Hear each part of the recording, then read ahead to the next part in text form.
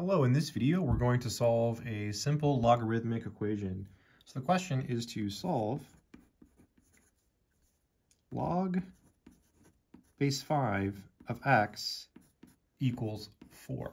So to solve this logarithmic equation.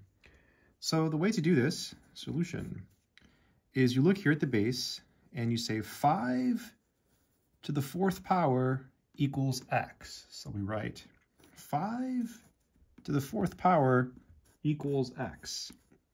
You might say, well, what is 5 to the fourth power? Well, you could put it in a calculator, or you could work it out.